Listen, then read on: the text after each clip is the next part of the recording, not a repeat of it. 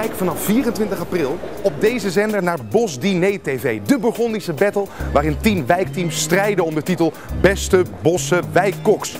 En zoek op zondag 8 april in deze straten naar deze check. Lever hem in en haal deze heerlijke mand op met heerlijke Brabantse streekproducten bij de winkel Burgondisch hier in de Vuchtenstraat. Check bos500.nl